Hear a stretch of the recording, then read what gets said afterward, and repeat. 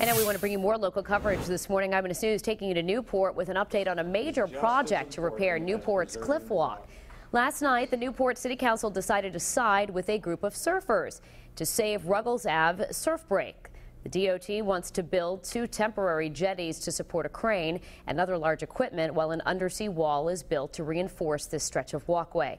But surfers say the project would hurt ocean life and disturb an iconic surfing spot. Here in the city, most importantly, all of the council members supported our resolution.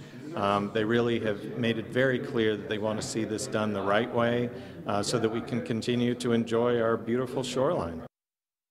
And the DOT will meet with the council and surfers tomorrow to discuss possible alternatives.